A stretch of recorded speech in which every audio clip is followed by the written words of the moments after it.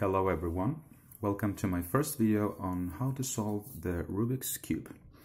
As you may know, the Rubik's Cube has six sides um, and on my cube I have the colors uh, green, red, blue and orange and then I have white and yellow. Or I'm going to show you how to solve the cube using the so-called beginner's method um, where you solve the cube layer by layer. Okay, so first you solve this part here and then you solve the middle and finally you solve this last layer. Let's begin by scrambling the cube.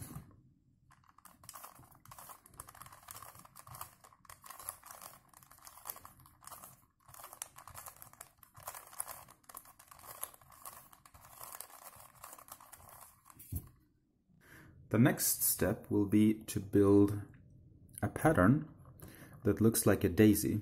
So a flower with um, a yellow center uh, and four edge pieces that are white, all right? So to make that, you look around and try to find the yellow center, which is opposite of the white. And here it is. Pretty easy. So, where are the white edges uh, on this cube? Um, here's one. Here's one. Here's a third. And here's the fourth. So let's put these around the yellow center, all right? Um, this one is really easy. You just move it like that. Um, this one is also easy. I want to put this up here. So I do that. Now I have two. Um, I have one here and I have one here. This one is pretty easy because if I just flip it over, it will end up here, right? So look at this one here. Rotate once, rotate twice. Now I have three. I'm only missing this one here. And the final one is over here. So to get this one up here, I move it first so that it's it doesn't destroy what I already built, right? So I'm gonna I'm gonna move the white edge piece over here so that I can move it like here around here and uh, still keep my three pieces. Um, there it is. But you see that if I move it up here it will be in the right position but it will be incorrectly oriented. So to fix that I take it down one step and then I turn the top so that the one I'm replacing is over here. And now I can move the white edge pitch here. So now you see that I built a daisy. In the third step we're going to make the white cross. So we're going to put the four edge pieces that we have on the daisy, we're going to move them to the other side of the cube so that we have a white cross, right? And that's this is as really easy to do. Just make sure that um, the edge piece that you're moving down has the same color as the centerpiece here. So this one works.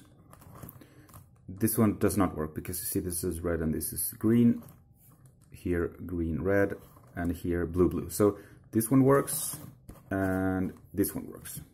So when you have the pieces matching you flip this to the other side right? So one two and now you see that it's matched here And importantly, it matches here as well. Next one, remember the blue, it matches. So we move this one down like this. And now you see that I have matching pieces here and I have matching pieces here.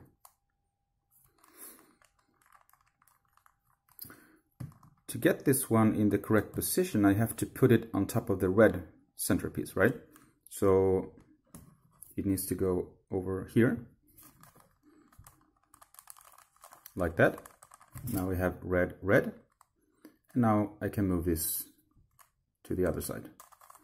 One, two. So now I have orange, orange, blue, blue, and red, red. The final piece here is green, so I need to I need to put this above the green center, which is over here, right? So just just move this like this. Green, green, and now I can move it to the bottom. There we go. So now we have the white cross, and more importantly, it's a correct white cross because I have matching edge and center pieces here, here, here, and here.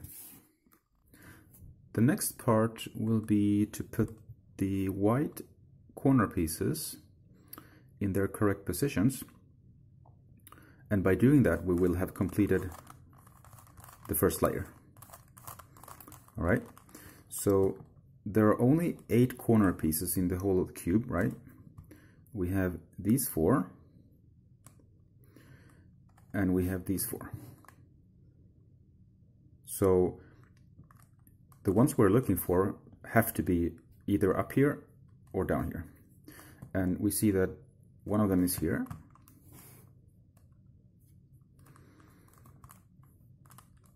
One is up here. And two are here, right? So when you want to put your white piece up here, uh, you have to make sure that they are down in the bottom layer, which this one is. So let's start with this one. Um, this one has the colors white, green, and orange.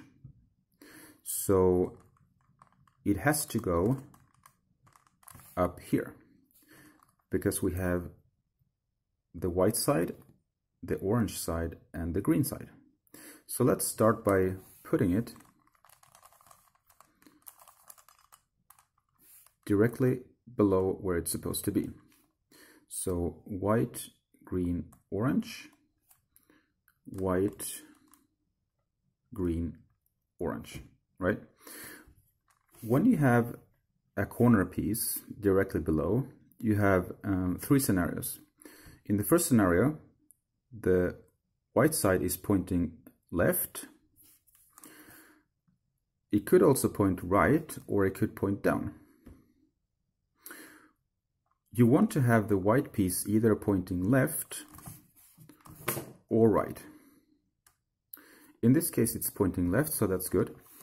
And when you have this scenario and you want to put it up here, you do this simple step here. Okay, so make sure that you have the white cross upwards, facing upwards, and you have this one pointing left. You turn, turn the front like this, okay? Move this one, the bottom layer, and then move it back up. You see how it went from down here up here? Yeah. Let's do this again, because now we see that we have another corner piece that is also pointing left. Uh, so this one has blue and red, which means that we have to move it over here, because we have blue and red and white, okay? Same scenario. We have a piece down here that we want to move up here and it's pointing left. So again, move the front like this, move the bottom like this, and move it back up. There we go.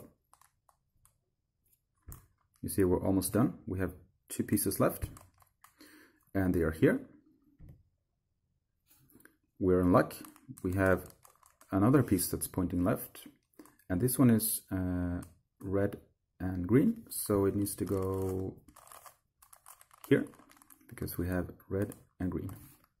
Same thing. Move it like this. The bottom and up. One left. Unfortunately the one we want is up here not down there. So we have to fix that and we do that pretty easily by taking this down. Now now it's here. Move this out of the way and correct your white side so that we don't destroy anything okay? So let's check again. Mm, now the white side is pointing down so that's good for the sake of this video once again uh, this has the colors blue and orange so it needs to go there obviously it's the only one left we have orange we have blue but this time the white side is pointing down, so we have to fix that. And we do that by doing the following. Make sure it's in the correct position. Okay, like this. You see it here. Now, move this side here once so that the white is pointing over there. Yeah. Move it out of the way and fix it back up. What we did now is that we turned this. You see, now it's not pointing down, it's actually pointing right this time. So when we align it to be under where it's supposed to be, you see that it's pointing right instead of down now. So this is the third scenario. The white side is pointing to the right. And we're gonna do pretty much what we did over here, but uh, sort of like a mirror image, okay? So what we do here is also pretty easy. Let's see if you can see this. Okay, so we want to put this one up here, and we do this. Right side, bottom, and up. And now we have finished our first layer, you see? And we know that it's correctly made because these match these two, these two, and these two.